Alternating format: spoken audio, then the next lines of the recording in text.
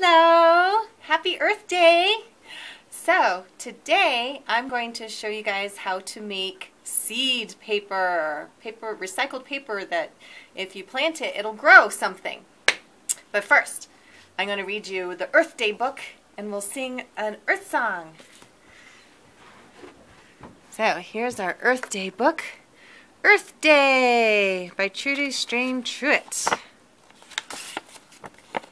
Imagine a city where the air is so dirty it's hard to breathe. Imagine a lake so full of oil that no fish or wildlife can live there. that would be so sad. Imagine if our lake couldn't have any fish because it was so dirty. Well, some places in the United States were like this 50 years ago. People didn't think much about the environment back then. The environment is the air, land, and water. We need them to survive. Factories fill the air with smoke and pollutions. Cars let off gas fumes. Companies dumped dangerous materials, chemicals, into the rivers and waters. Oh. But a guy, Senator Gaylord Nelson, he thought we could do more to take care of the planet. He wanted to teach people how to protect our air, soil, water, plants. He said we needed to be uh, do some conservation. He wanted to get everyone interested in it, so he said let's have Earth Day. It's always April 22nd. And that started in 1970. Lots of people! Said, yes, that sounds great. There is Earth Day parades and Earth Day parties and Earth Day festivals. All of it to help people know what to do. It made a big difference. Car makers did better at making the cars less uh, polluting. And cities began to recycle. They're picking up some recycling. That's turning something into something else. So like turning a milk jug into a bag. Here's some ways to celebrate. So, children in Australia like to pick up trash along the beaches. People in the United States and Canada sometimes like to plant trees. So you can pick up trash, you can plant trees. In Russia, the students like to plant vegetables in gardens. Mm. Some families talk about other ways to take care of the environment on Earth Day. They might say, turn off the water instead of leaving it running while you brush your teeth, or take shorter baths and showers. That's different ways to conserve water. Some family members might remind each other to recycle their old phones or printer cartridges, computers. There's safe ways, safer ways to recycle them. We don't put those things in the trash. We bring them to the recyclers. People talk about better ways to reuse things. Empty tissue boxes can store things. Old milk jugs can be used for watering plants. They use this old milk carton to plant a plant inside. Can you think of some things you can recycle or reuse? Every day should be Earth Day when it comes to protecting the environment. There's all the pictures. And we have, we, some of my students, long time ago, made a song called the Earth is our planet. Some of you might remember this. Okay, it goes like this. The Earth is our planet, the third one from the sun. It has land and water for everyone. It's surrounded by an atmosphere that's air for you and me.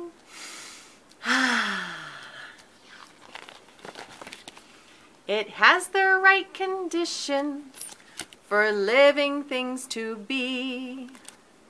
Oh, Mars is too cold. Mercury's too hot. Phew. Let's take care of the Earth. It's the only one we've got. I love that song so much.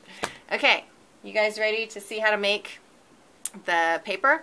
So I have a blender and I have pieces of shredded up paper. You can use um, paper towels, you can shred up paper towels, you can use newspapers. It's good to have uh, plain white as your base if you want it to be colored paper. Uh, you can use different colors. Um, and this was some paper that was in packaging. I got a box and there was some paper in it and so I tore it up. Tearing is really therapeutic. It's a very fun activity. We should be tearing a lot. And then for some color, I just got some old tissue paper. I don't know if you ever get a gift and sometimes there's tissue paper in that gift. Well, you can rip it up instead of throwing it away because it can't be recycled. Um, so just tear it up and you can put it in there for some fun. And then I have some seeds and you know what? If you don't have some seeds, there's seeds inside some of the food you have you eat. There's seeds inside apples and oranges, um, especially if, if they're um, Let's see what else. Oh, like squash. Ooh, that has a lot of seeds. I have some squash seeds in here too. And chia seeds and oh, if you have popcorn kernels, those are seeds. So any kind of seeds.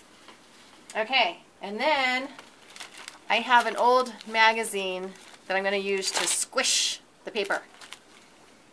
And I have a wooden spoon water.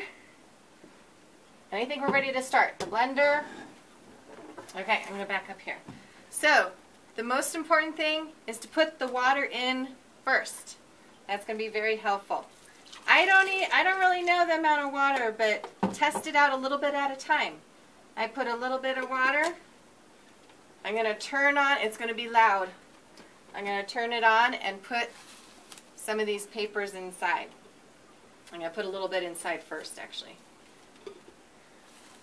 Your parents will help you with this, because remember, just adults should be using this. Okay, I'm going to turn it on. Let's see.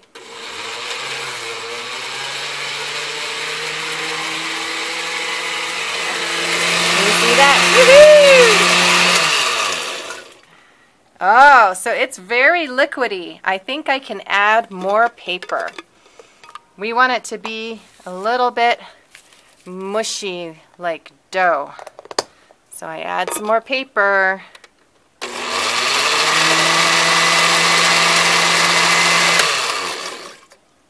Okay, I'm going to add more paper. Let's see what happens if I add a lot. Because I want to I want to be able to show you what happens if it gets stuck. Ah. you see it's not moving very much? So your parents, they'll make sure it's turned off and then they can use the spoon to push it down. We only put anything in here when it's turned off. Okay, now let's see. Oh, good. I think it's getting, it's good. So if it's too, too, if it's not mushy enough, you can add more water if it looks too dry. This is kind of looking okay to me. I'm going to add some of the colored papers, the sparkly things. Let's see. And a teeny bit more water.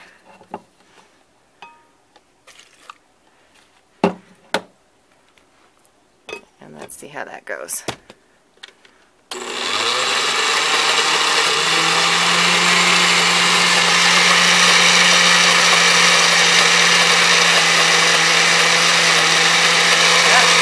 Doing a good job. I think it's ready. Yep, it's ready. That looks good. So it's okay if it's really wet. Now, I'm going to, I have to put the camera down so that, oops, I can use both hands. Now I'm going to take it out with my spoon too and put it on that old magazine.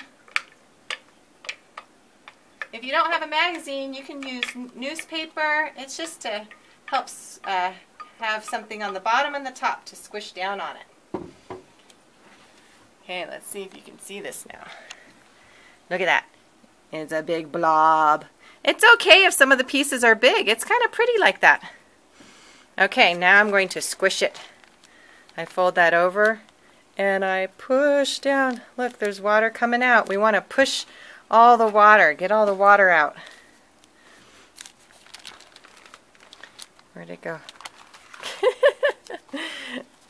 Uh, I have to find out where what page it's on now. Where'd it go? I'm getting closer.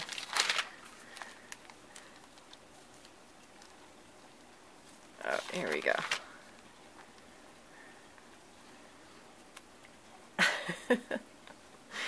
I'm trying to use my two hands. Here. Oh, there. I needed two hands to do that.